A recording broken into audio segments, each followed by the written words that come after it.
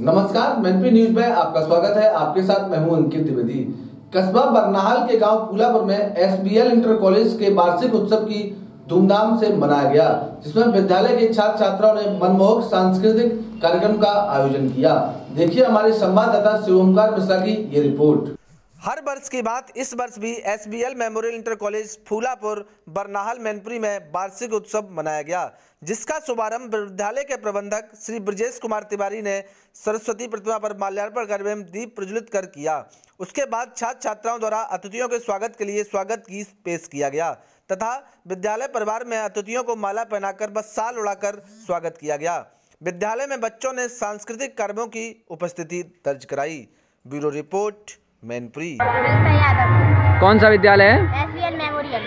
यहाँ ये कार्यक्रम चल रहा है ये क्यों मनाया जा रहा है?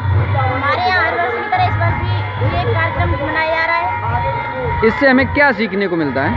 इससे हमें हमारी हुनर मतलब कला कला देखने के लिए मिलती है और सीखने के लिए कुछ मिलता है। अपने हुनर दिखाते हैं और अपनी कला दिखाते हैं। यहाँ पे नाम है सर आपका? सत्यन तिवारी। प्रधानाचार्य S B L memorial college Prakash Prakashganj sir आपके विद्यालय में आज एक कार्यक्रम मनाया जा रहा है। ये क्यों मनाया जा रहा है?